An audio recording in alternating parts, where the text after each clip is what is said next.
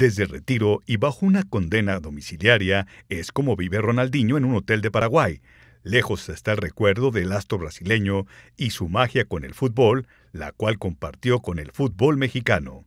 Este 18 de abril se cumplen cinco años de que Dino provocó que la afición del América se rindiera a sus pies, pese a goleada que le propinó al conjunto azul crema por 5 a 0. Corría la jornada 14 del Clausura 2015. Querétaro, el equipo sensación del torneo por tener en sus filas al ex de Barcelona, pasaba por uno de sus mejores momentos en la primera división y la aprovechó dando un golpe de autoridad sobre el América y en el Estadio Azteca.